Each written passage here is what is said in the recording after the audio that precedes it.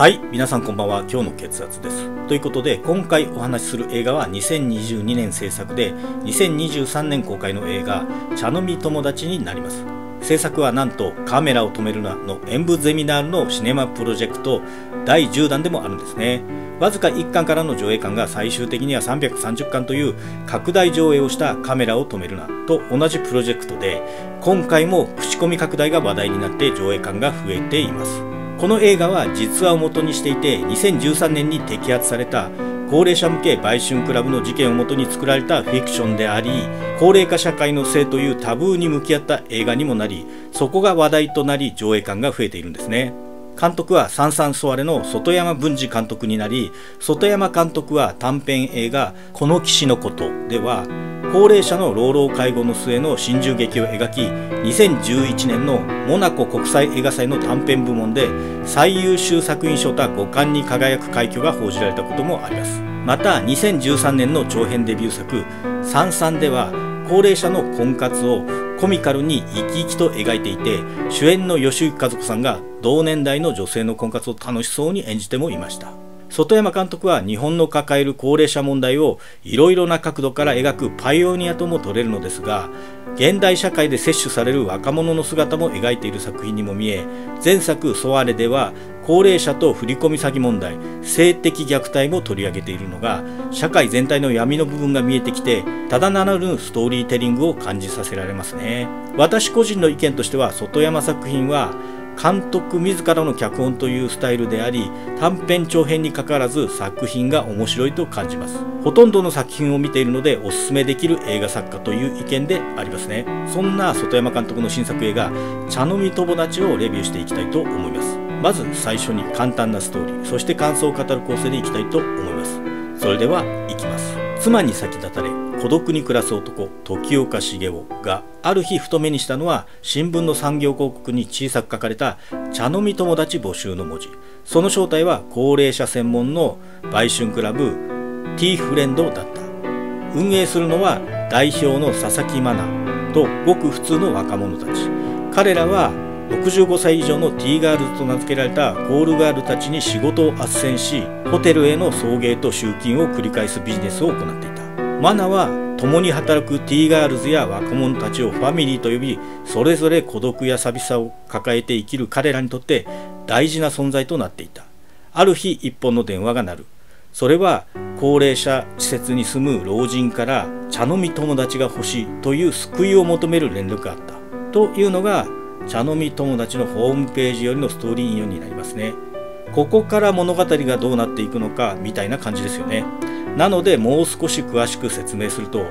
この T ガールズにスーパーで万引きをしようとする高齢女性のマツコさんをマナが助けスカウトするんですね。このマツコさんが最初は申し出を断るのですが後日マナに連絡をして T ガールズに加わります。するとマツコさんの接し方が徐々にお客様の人気を勝ち取り頭角を現していきます。そんなある日事件が起こります。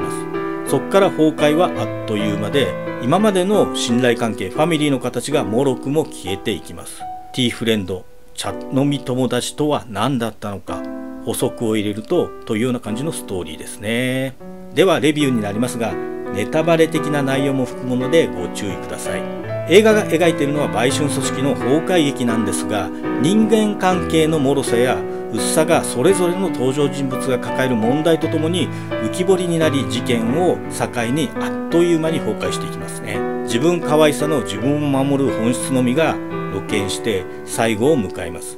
代表のマナはそんな崩壊劇の責任者として警察と対峙するのですがそこには法的正義はなく個人的な正しさのみを主張するだけにとどまります。このマナの個人的な正義はマナの家庭環境や職歴が影響していてそのことについても映画内では語られていきます。しかし社会全体の仕組みに逸脱した行為はマナの考えの及ばない利用者たちにも暗い影を落としていき単なる被害者でないことをも高齢者施設のルールなどの適用が厳しい裁きを下します。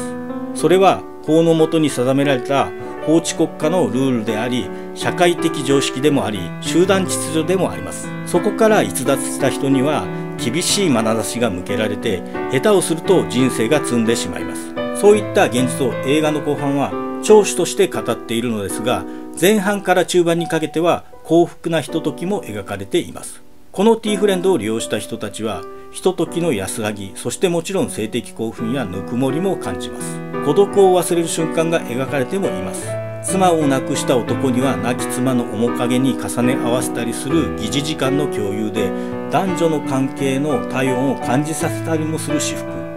ただその安らぎが大きければ大きいほど後から襲う孤独感も大きなものとなり茶飲み友達の喪失劇に希望が消えてしまうんですね。この映画で時岡茂を演じる渡辺哲さんがその希望を失う姿の虚しさの象徴として描かれこの映画の締めくくりになるのですが諸行無常の響きが聞こえ何とも切なくなりますね。現実はかくも虚しい出来事だと言わんばかりの老後を見てしまいます。その孤独を見た私たちはそこから何を見出すのか投げかけられ見たものに考えさせる。とここまで語るとでは辛い老後の現実を見せられて何が面白いのかですよね。人間辛いことほど長い時間に感じられます。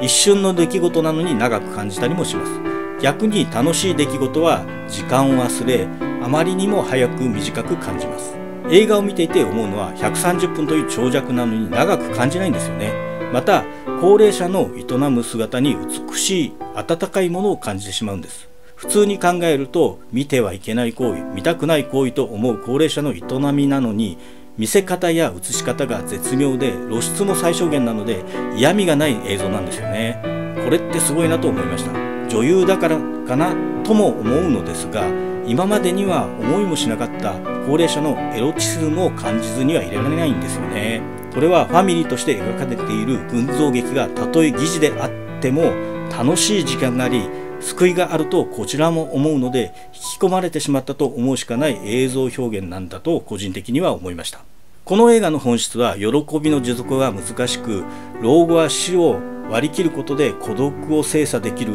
という現実にどう立ち向かうかが老若男女の群像劇の形で描かれ助け合う疑似ファミリーという集団と疑似恋愛が崩れ去る様があまりにも切なく描かれ法律とは何を救い何を救わないのか正しい行いとは何なのか人を助けるとは何なのか自分の虚しさを埋めるために人を助けを行うのはエゴイズムなのかなどなど疑問点は多く頭に浮かび売春防止法の根源まで考えさせられてしまいます。若いうちにはできることが年とともにできなくなり弱者となる。これが老いるということで老いの人口は今まさにピークを迎え若者への負担が接種的に襲う時代でもあります。その高齢者の手助けで利益を上げるビジネスが成立しても良いのではないかと思う社会通念を感じてしまうのはマナに共感を抱いていることになるのかもしれないとも思いましたね。2013年に現実に起きた高齢者売春ですが会員数が男性1000人女性350人男性の最高齢88歳女性の最高齢82歳。男性の平均年齢が65歳くらいで女性の平均年齢が60歳くらいという十分にビジネスになる高齢者人数を取り込めるビジネスモデルと考えられるんですよね。ただ違法だったけれどもね。1957年4月1日に施行された売春防止法の根源では社会的道徳上の女性の性行為の公正や救済を目的として謳われているのか果たして現在に適用する法令なのかを少し考えてみても良いのではないかとも思いました。時代はそれから半世紀以上経ち人生100歳時代なんていうと老いの生活時間も長いしこの30年くらい景気の後退が進み1957年以前の戦後の厳しい時代と似た経済戦争の敗戦した時代にも思えて仕方がないんですよね。今後科学の発展はいずれ肉体を超越してしまうとしても今はねまだまだ現実の老いを考えなければならないのよね。まあ楽しく死ねる人生が理想だが尊厳死はともかく安楽死も認めても良いのではないかとも思いましたね。自殺はいけないという考えは追い詰められる行為がなくならない限り正論とも思えない。生きる権利と死ぬ権利は個人の選択であれば良いのではないかとさえ思っています。それというのも年齢的にも老後が差し迫り一言ではない身近な未来を見せられた感じですしね。そういった身につまされる閉鎖感を抱いてしまいました。今回の映画レビューはこんな感じになりました。ということで今回の処方が気になった方は是非見ていただきたい映画になりますね。2023年現在全国ロードショー公開中になりますのでお近くの劇場で公開中に見てはいかがでしょうか。傑作です。ぜひぜひ見た後の感想などもお聞きしたいですよね。映画は心の処方箋。ご評価とチャンネル登録もよろしくお願いいたします。それではまた次回。バイバイ。